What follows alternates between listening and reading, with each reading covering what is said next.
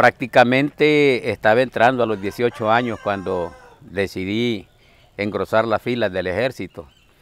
Y la razón por la que yo ingresé al ejército fue algo, algo que de mí nació. Eh, la verdad de las cosas es de que yo inicié en una, de, en una, ¿cómo se llama? No se le puede llamar ni defensa civil, sino que yo inicié como patrullero. Eh, allá por finales del año 79, por ahí así, fui herido en un enfrentamiento que tuvimos con, ya con los guerrilleros entonces. Ahí salí lesionado de este pie, me balearon. Estando, en, Estando de patrullero, me balearon. Antes de que comenzara el conflicto armado en su apogeo, antes de eso. Fue aquí en el departamento de Chalatenango, en un lugar conocido como Las Pilas, adelante de Miramundo, allá por el lado del Pital, buscando para San Fernando. Allá estaba viviendo. Porque eh, tengo entendido de que los patrulleros prestaban su servicio en su, zona. En su zona. Yo no era de la zona, quien era de la zona era mi padrastro, el, el esposo de mi madre. Él era de allá. Entonces, nosotros vivíamos aquí en San Salvador pero como él era de allá, entonces él decidió llevársela ah, para allá y vendieron aquí donde vivíamos en San Salvador y nos fuimos para allá. Estando allá, pues a mí me llamó la atención el ver que la gente se reunía y que en las noches se organizaban y salían a prestar turnos en las noches, a cuidar el cantón. Entonces, y me hice amigo de muchos porque no me conocían, me hice amigo de muchos y optaron por llamarme a prestar turno porque seleccionaban de cada casa vea que fuera uno o dos por noche a hacer turno. Ahí inicié, yo con ellos solo acompañándolos, así de civil, vea, acompañándolos nada más a, a su respectivo turno. Y me gustaba, pues de ahí había que volver a esperar el rol, a que le tocaran otra vez a uno. ¿Una vez por semana o dos? A veces dos, a veces una. Pero como a mí me gustaba, yo le había agarrado de pila, yo todas las noches. ¿Y la Sí, me ofrecía, yo me ofrecía. Entonces, en vista de eso, decidieron usar, enseñarme a usar una pistolita 22 y me armaron con esa pistolita 22. Ah, yo me sentía en las nubes con esa 22. Y yo me sentía Rambo, pues yo decía que cuando aparezcan por aquí, sí, yo los voy a rociar. ¿Y, cómo la andaba usted? ¿La andaba por aquí? andaba, No, yo aquí me la metía, aquí entre medio del pantalón. Ahí la andaba. Eso sí que procuraba que me la vieran, ¿verdad? Para lucir. Así es que Sí, ahí la andaba a la vista y bueno, pues así fue como inicié. Después de eso pasó eso que, bueno, cuando me balearon, ya nosotros ya no andábamos pistolitas, ya nosotros andábamos ya fusiles. Andábamos los famosos eh, Mauser que le llaman, andábamos un fusil que se llama ah, Checo y andábamos unas carabinas, andábamos de la 2, M1 y M2, carabinas. Entonces, este, así es que andábamos ya armadas y cuando a mí me balearon, balearon también a otro compañero y él sí murió en el instante porque a él le pegaron un balazo aquí en la rótula, se lo despozolaron y solo nos levantaron de donde estábamos caídos y nos llevaron a una, lo que nosotros ocupábamos de comandancia era un convento de la iglesia de ahí. Entonces allí nos habían cedido el convento y esa era la comandancia que utilizábamos. Entonces este, ahí nos llevaron y ahí fue donde él murió y yo quedé baleado. Pero me dieron ánimo mis compañeros porque al ver que el otro día había muerto y yo estaba ahí herido y que me desmayé por un rato, llegó un compañero y me dice, este, hey, me dice, ¿cómo te sentís? Fregado, le dije yo. Porque yo no aguantaba de mover el pie un poquito así porque sentía que sentí un piquetazo fuerte. Entonces, sí, él me dijo, aquel ya se murió, ya solo vos quedás, me dijo. Me dio ánimo, ¿verdad? Entonces, pero la verdad de las cosas que yo en ese momento, a mi mente vino un montón de cosas que yo había hecho. Y me quedé, y me quedé dormido. Más que todo malas. Y me quedé dormido. A rato desperté, ya una señora que era enfermera, ya me estaba curando, eh, poniéndome cabello ahí en la lesión, porque como fui perforado, cruzado, eh, poniéndome cabello, me ponían azúcar. ¿Pero solo carne, camarada? No, hueso también. El hueso, sí, mi balazo fue acá, aquí me entró y aquí me salió. Uy, o sea que Hueso. desde temprana, de temprana, desde recién llegado allí, este, Eh, era el fierro que me pusieron. Sabían que iba a ser una buena res.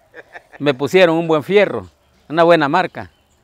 Pasó varios días este, recuperándose. Eh, pasé seis meses, seis meses en para que recuperación. bien. Y la verdad de las cosas es que hasta el siguiente día, después de que fui herido en combate, hasta el siguiente día me bajaron al pueblo de La Palma, a una unidad de salud. Y de la unidad de La Palma, los de la guardia me dieron seguridad y me trajeron para acá, para el hospital de Chalate. Aquí estuve ingresado. Y aquí fue donde me, me dijeron que me iban a amputar el pie.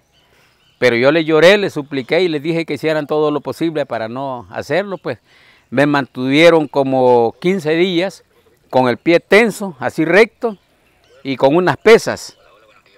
Y me pusieron una férula, entonces me estaban curando y me dijeron que iban a probar, gracias a Dios. eh, no hubo necesidad de amputarme porque el pie se me puso así de gordo y me brillaba. Y entonces, este, después me llevaron para allá de nuevo, para Chalate, para allá, para los planes, a recuperación, enyesado. Así fue mi recuperación. Ya cuando me recuperé por completo, volví de nuevo al trajín. Ahí estaba por lo menos haciendo servicio en entrada allí, anotando alguna novedad por ahí, Siempre de la comandancia. siempre de la comandancia. Sí. Ya di, cuando me recuperé por completo, sí ya de- decidí meterme al ejército y fue que me vine con Toño Moroño. Voy a dar el otro paso, dijo usted. ¡Pam! Sí. Iba a brincar- y brincó a la cuarta, al DM1, ¿dónde brincó? Eh, de un solo al batallón atonal. Mm, de un solo al batallón atonal. Allí a la cuarta brigada se fundó el batallón atonal y ya mi hermano estaba allí y un tío mío también. Ellos, prácticamente yo soy uno de los fundadores, pero ellos son originarios porque ellos ya estaban allí. Ya estaban. A ellos eh, de una sola vez de las compañías donde ellos estaban los pasaron a, a formar parte del batallón. Mientras que yo no, yo llegué y de un solo al batallón. Yo no recibí instrucción como soldado porque yo ya iba con sangre militar y ya había estado en combate y ya había sido hasta baleado. Entonces de un solo me agarraron allí y pasé a formar parte de la fila del batallón atonal. No, Sí, sí, no, yo no, sí, no, no pasé por eso. Está pendiente. Está pendiente entonces. Ah, pero por todo lo demás que pasé durante el conflicto armado, los que digan que yo no sufrí por eso y que quedé debiendo, aquí me, aquí me salen debiendo ellos a mí. Sí. conmigo. no. Sí. Bueno, cuando llegué al batallón atonal, pues ahí habían oficiales que, que me conocían, porque como eh, ese sector era comandado por la cuarta brigada, ¿verdad?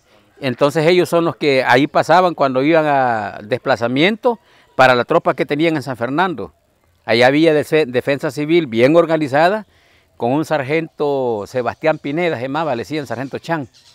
Entonces, este, ahí pasaban, por donde nosotros, nosotros aprovechábamos ahí, pues nos abastecíamos de municiones con ellos, de uniformes, de gorras, de botas, y ahí como, la verdad las cosas que ahí nosotros no teníamos ningún incentivo, más que el que la población pues ahí nos regalaba, ahí algunos ahí, ¿verdad?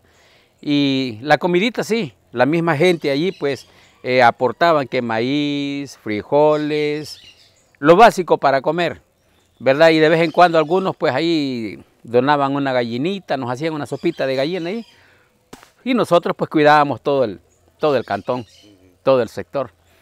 Y como tuvimos más combates después, de hecho nos atacaron, después de que se acabaron San Fernando, después nos atacaron a nosotros, y siempre con los mismos fusiles nosotros. Pero ya teníamos más, porque la guardia, el puesto de la guardia de La Palma, nos visitaban frecuentemente y nos pasaban revista. Entonces, todo el control lo mantenía la guardia de La Palma. Entonces, no de abastecernos, no nos abastecían, solamente revisaban que tuviéramos el armamento bien, que tuviéramos municiones, eh, como unos morrales que había, unos morrales verdes para echar municiones, eh, cosas por el estilo, y tal vez nos regalaban uno que otro uniforme por ahí. Eh, esa era la revisión, ¿verdad? De ahí más nada, Me más está nada. Me está hablando de estando en el, en el atonal. No, estando allá, en, en los planes. Estando en los planes. No, estando en el atonal, como usted me preguntó, cómo fue mi llegada al atonal, fue que Yo, como le digo, había varios oficiales que me conocían por eso, porque habían pasado por la zona. Y ahí se estacionaban con la unidad y a veces se quedaban la noche, a la siguiente mañana se iban y más que todo el que estaba encargado allí en los planes establecía una buena amistad con los oficiales y así es como nosotros nos conocimos, con muchos oficiales, algunos clases y todo. Y aparte de eso también había gente de allí de los planes que estaba allá en el atonal, que estaban de alta. Entonces, eh, cuando yo llegué a la tonal, eh, me identifiqué con un teniente de, apellido Vázquez, Vázquez Gutiérrez, que era un teniente, y también con un teniente Grijal Bacerna, y a un señor que era capitán, que lo conocí, se llamaba Marcial Vela Ramos, que ese señor lo trasladaron para, para San Miguel. Eh, lo conocí pues cuando llegué y todo, pues este, yo no llegué de un solo así como desconocido, no que primero hablé y todo y me dijeron, no hombre, andaste para el batallón, hasta vamos a recibir. Pues cuando llegué, de un solo me recibieron y pasé a formar parte de la compañía Armas de Apoyo. Ahí fue donde estuve unos días agregado y después causé alta como soldado, ahí en la compañía Armas de Apoyo. Ahí fue donde inicié mi carrera militar. Sí, la verdad de las cosas es de que como atonal pues tuvimos varias salidas en las que yo participé. Claro, ellos ya más antes habían hecho algo otras actividades, yo solamente llegué ya a formar parte. Eh, salimos a varios sectores, como por ejemplo aquí a la zona de Guasapa, aquí todo lo que es por la Nueva Concepción, aquí arriba por la de La Palma, por la carretera, aquí al lado del Cerro de Sotalillo, por los planes, las pilas, San Fernando, aquí por lado de Dulce Nombre de María, toda esa zona la caminamos y aquí por este otro lado también, eh, de aquí pasando por el lado de el Zapotal, a las vueltas, eh, la laguna, Ojos de Agua, las Flores, eh, Arcatao, Nueva Trinidad, Los Filos, allá por una que llaman Teocinte y muchos lugares más que ya casi no recuerdo aquí, aquí en Chalatenango.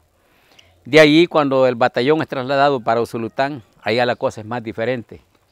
Mi primera experiencia fue bien bonito porque mi hermano era noventero. Él andaba con el mortero 90, fusil sin retroceso, 90 milímetros. Pues él andaba con el 90 y mi tío, él era fusilero. Él era fusilero. Sí, la verdad de las cosas es de que aquí por la calle esta de, que, conduce a La Palma, saliendo ahí de Nueva Concepción, del desvío de Amayo para, para La Palma, tuvimos varios combates en los que me vi involucrado y sin ir muy lejos, pues ahí nomasito por Tejutla. Ahí fue donde yo tuve mi primera participación con el batallón. Ahí fue donde me estrené con el batallón. Pues nosotros íbamos en desplazamiento porque ya la orden que habían recibido los señores oficiales era de que había movimiento guerrillero y que había bastante comunicación. Ellos habían insertado, interceptado la comunicación y pues dijeron de que era necesario que el batallón hiciera un rastreo. Pues bajo las tácticas que ellos manejaban, pues nos desplazamos y nosotros, como éramos de apoyo, nos mantuvimos por la orilla de la carretera. Allí empezamos a avanzar una sección. Entonces, y cuando nosotros fuimos los que reventamos. Quizás ellos eh, no esperaban nunca que alguien apareciera, mucho menos a pie por la calle, pues. Y cuando fuimos a chocar ahí, y nos hicieron una emboscada. Lo que no contaban ellos era el movimiento que el, que el batallón llevaba, pues, el eje de avance, porque íbamos en forma de abanico. Así iba avanzando el batallón. Pues, cabal, eh, nos topamos con ellos y el primer aviso fue un bombazo que cayó. No les sabría decir de qué calibre ni con qué tipo de arma fue, pero fue lo primero, el primer bombazo. A los gritos de la explosión, que gritaron muchos compañeros, alerta, ¿verdad? Solo se oyó un grito que gritaron, ¡Farabundo! Y comenzó aquello sabroso ahí. Pues también nosotros comenzamos. Y yo, yo era un soldadito ahí nada más, era un soldado. Pero andaba cargando con nosotros a un cabo, que era el que nos andaba mandando a nosotros, un cabito que era chiquito, pequeñito, era así, quizás medía quizás como 1,10 de estatura, pero era una persona aguerrida, era un tipo valiente. Y cuando él vio de dónde nos estaban disparando, ¿verdad? Él solo nos dijo, hey, dijo, no se muevan de acá, dijo, traigan la 60. Pues ya llegó el sesentero, ¿verdad? Y le pusimos fuego de la 60 y nos comenzaron ellos a disparar más fuerte, un volumen más amplio. Pues de ahí pidieron la 50, emplazaron la 50 y le dijo mi hermano, no, dijo, déjenme lugar a mí, dijo, este es comida para mí, dijo. Y dijo al 90 y los agarra con el 90. El ligerito los ablandó ahí donde estaban fuertes, con el 90. Saber, saber este, como cuántos eran. Pues no les sabría decir, pero sí eran varios. ¿Eran varios para que les sí. hayan parado? Porque decirle un número sería mentirle, porque usted cómo va a contar a alguien en combate para ver dónde están y pues con nosotros no fue mucho, pero con el resto del batallón sí fueron varios, porque yo no conocía lugares que hoy después tuve la oportunidad de conocer, ¿verdad? Pero de ahí donde fue el combate, eh, ellos se dispersaron y de hecho no se dispersaron de momento, porque nosotros, no solo nosotros nos mantuvimos ahí en la zona como media hora, ahí donde nos intersectaron, nos mantuvimos como media hora, frente a frente.